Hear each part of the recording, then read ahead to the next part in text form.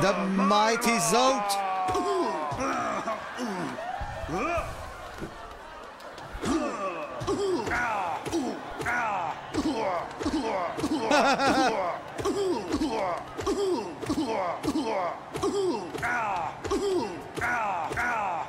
this is, this is, let him hit you, Todd. Too late.